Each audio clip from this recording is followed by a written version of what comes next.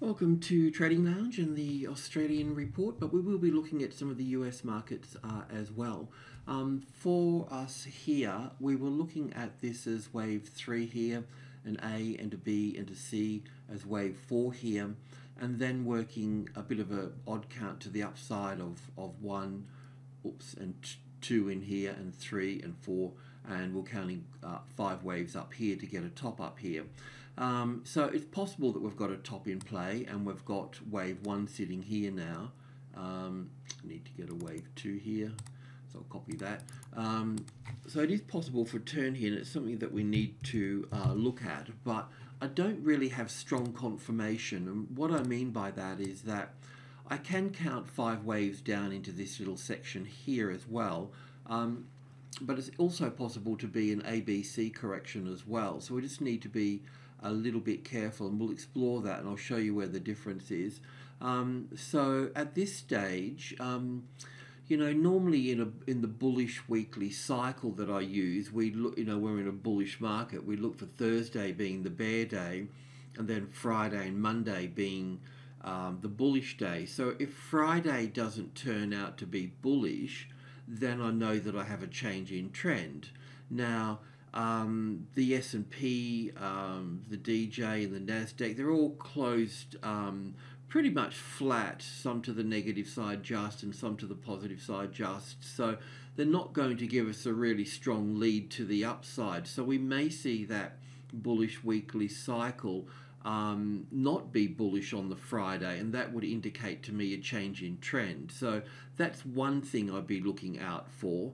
Um, yeah, um, but at the same time, we, you know, uh, Elliott is is good is but when we're confident in it. Um, what it does, it gives us the direction of the trend.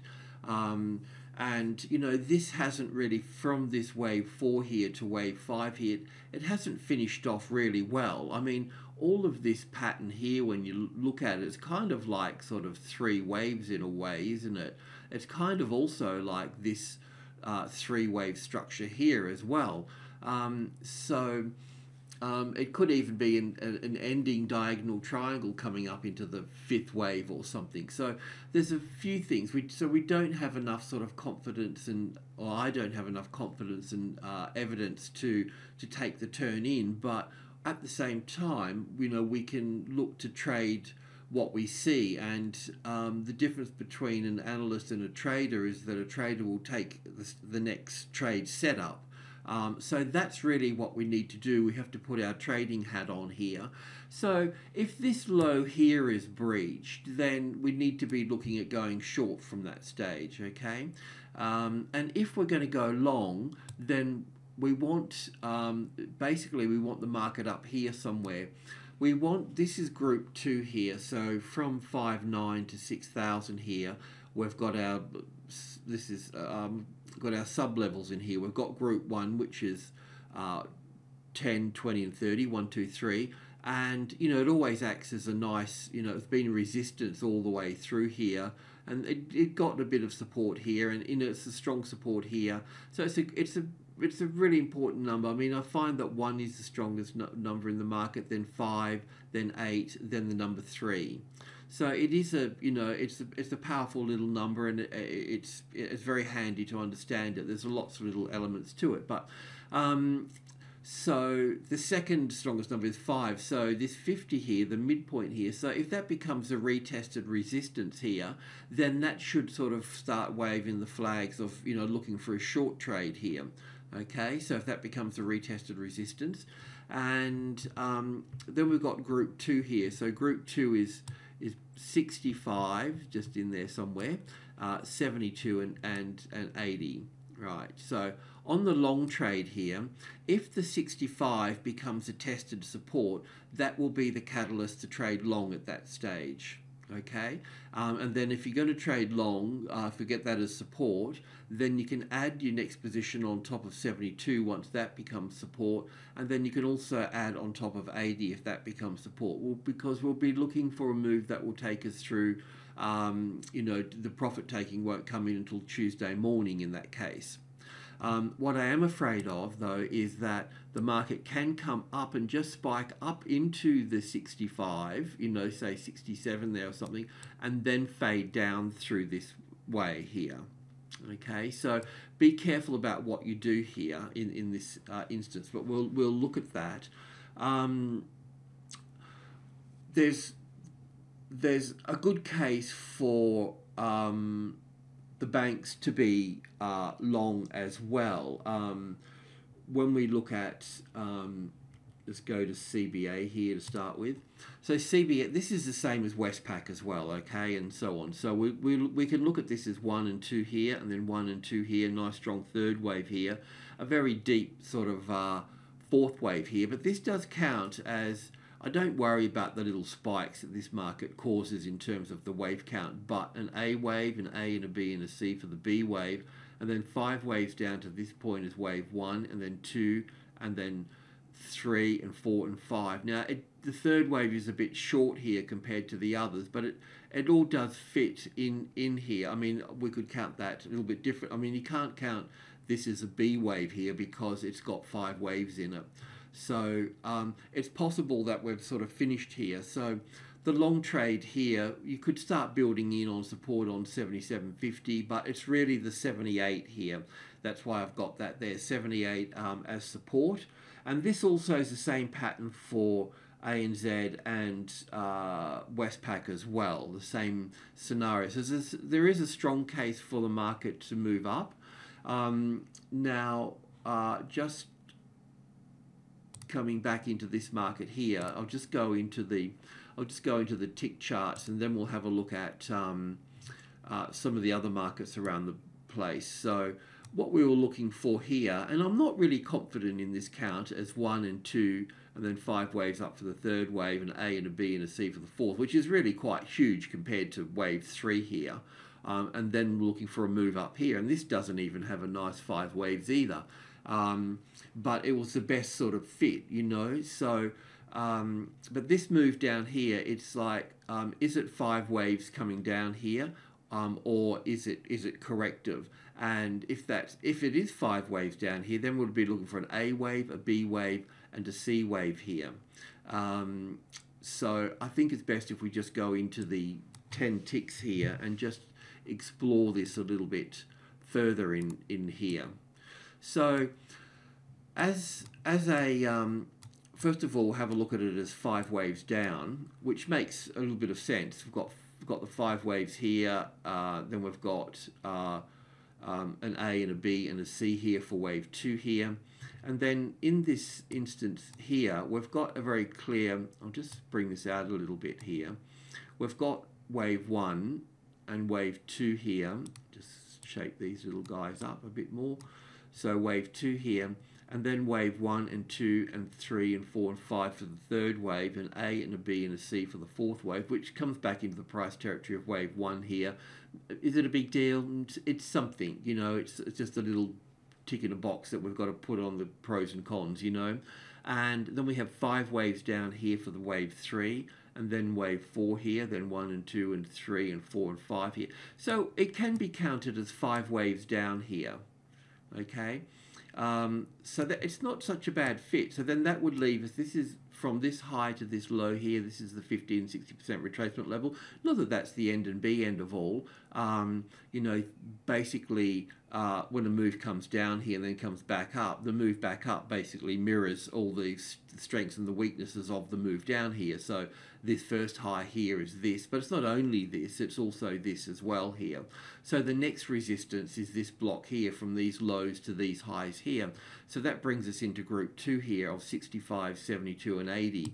And of course there's other important numbers in this skeleton of, of three levels here, but I won't go into that at the moment. But um, what we'd be looking for here would be an A wave, a B wave, and then looking for one and two and three and four and five to come up here. So I would imagine that this is what I was sort of saying is that, um, you know, if the 65 becomes support, then we can look to go to the upside of that point.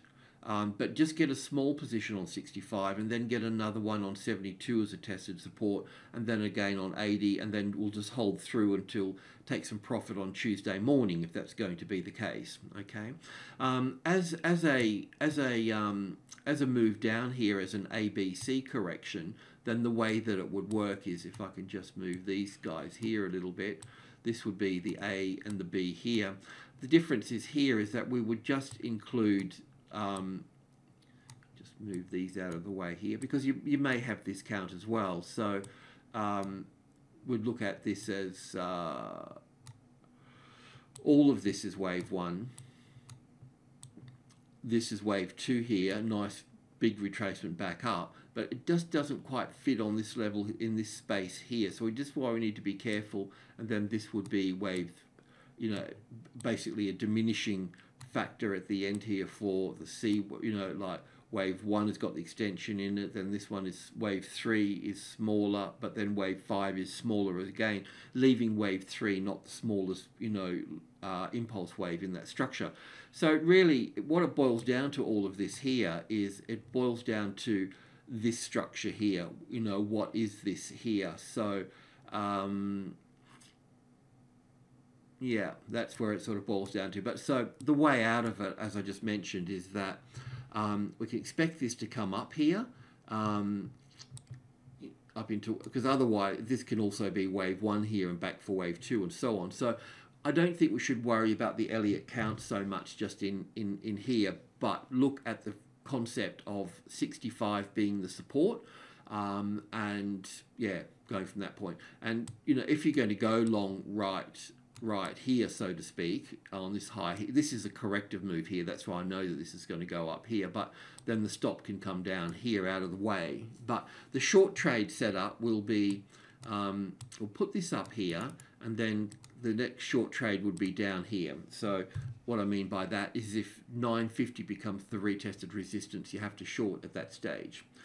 Which sort of brings us over to um, the reason that I think that the market can go up further is because um, I'm just going to go straight to Amazon actually, um, because with Amazon we were looking at this being the fourth wave down here, because this is driving the Nasdaq, of course, um, and Google and yada yada yada. But um, you know, so uh, yeah, um, so this was a pretty clear count for me. So I had nice, beautiful five waves up there, then a wave two coming back, and then we had a really nice five waves here on the tick chart that I talked about as well um, for an entry. Uh, and then the third wave is now pushed up into this space here. This is major trading level one, and then we've got group one here, which is uh, 100, 200, and 300 going up here. And um, in that, this these are just, I mean, what I do here just to explain stuff is take the top here and take the bottom of this wave four here and there's a few levels you can use. Uh, the first one is the, the 100 really there. So, but what I do is I just drift over and I go to the closest largest number here, which is the 100. Then I look for group 2 below here and then the top of group 1 here. So that will be 123 here. So that would be my space in here. And this is this is the 161 extension up here.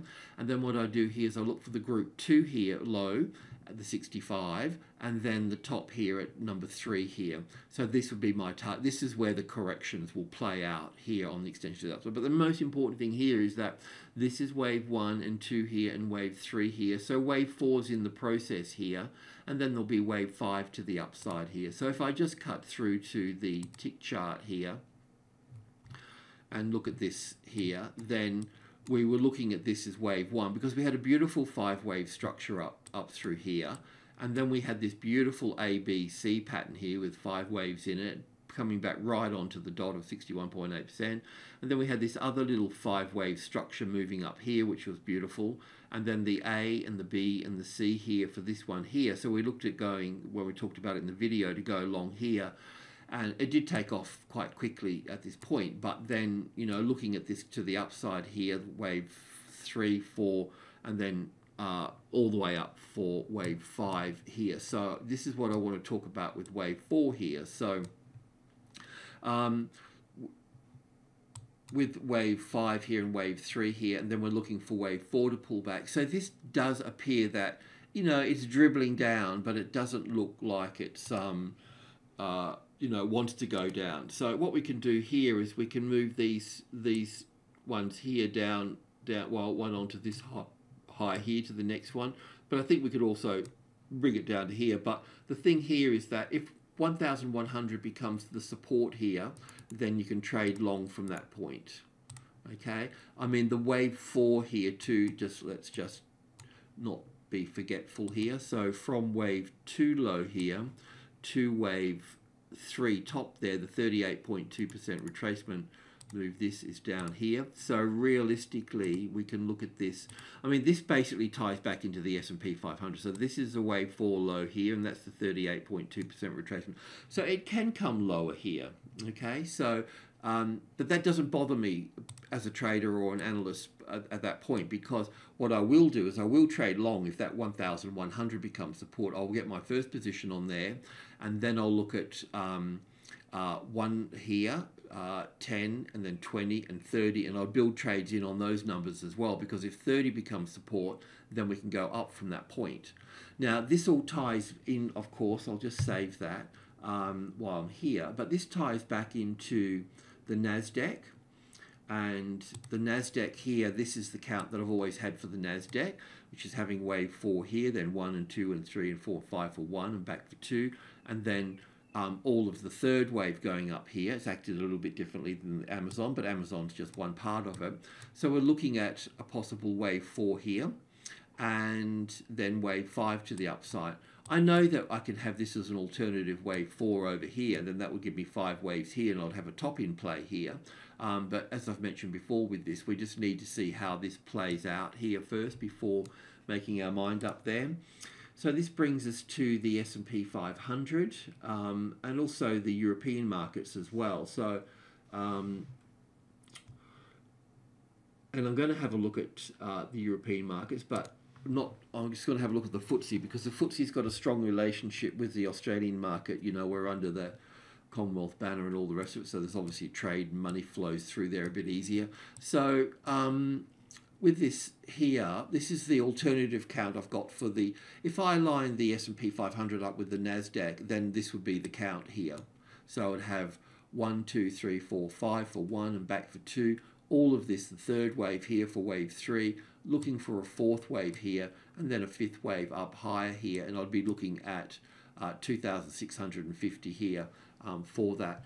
But um, the count that we're using here at the moment, just on the one hour chart, is having a top in here already. And this is what I want to talk about because we were lining the um, Australian market up a little bit with this as well. Um, but is this right? Um, this is the question. And um, if so, um, then how do we go about it? Um, and if wrong, where, where are we wrong with this here? So the first thing that sparks my sort of interest with, with this one here is that we're in group two here at the moment with this with, with this here. Um, but this move down here, I just want to um, study that for a moment, okay? And the way I'm going to study that to get some real clarity on it is come to the cash market. So this is a five minute chart and this is the top here and this is over two days. That was yesterday and this is today.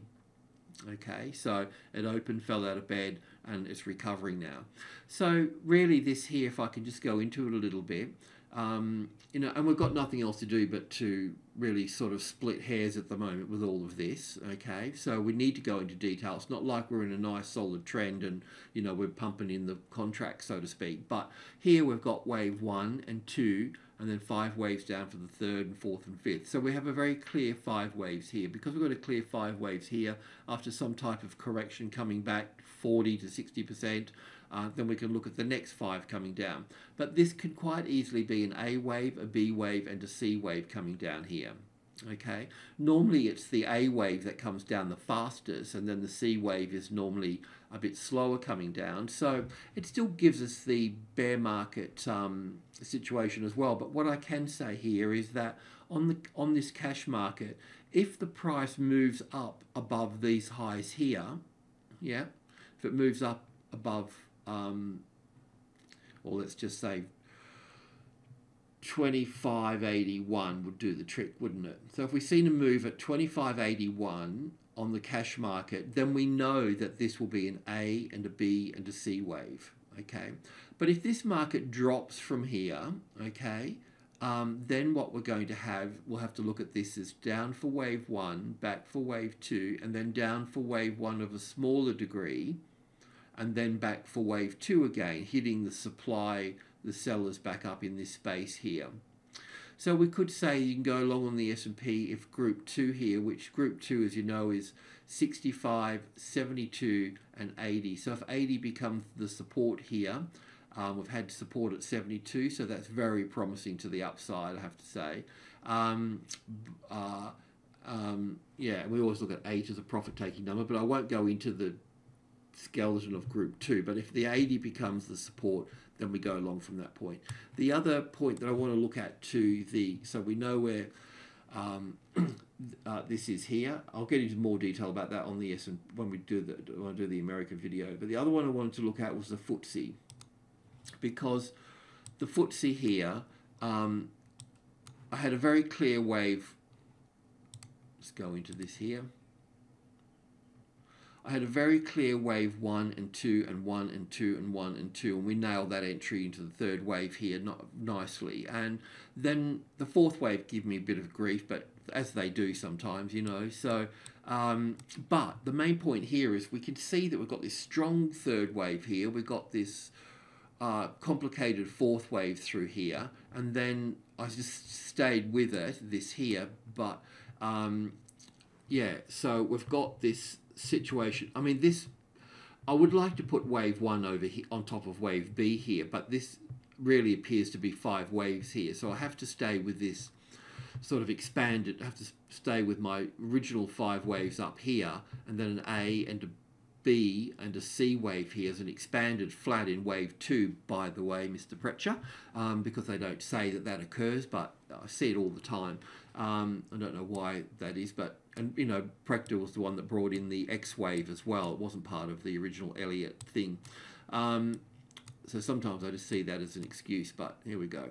Um, this this structure up here, um, you know, it's quite clear that the third wave that we're waiting for has certainly come into play here, and that means that this structure from wave four here to wave 5 here is not finished yet. So we haven't seen green wave 4. I haven't pulled this apart in here yet. I can see that we've got 1 and 2 and 3 in here and there'll be little 4. So we're going to have some sort of little correction in here and then probably up to here and then we'll see some sort of correction here and then a move up into this space here. So this has still got more to go before it finishes here. Okay, so if this is going to go to the upside, then it's quite possible the Australian market can also follow this as well.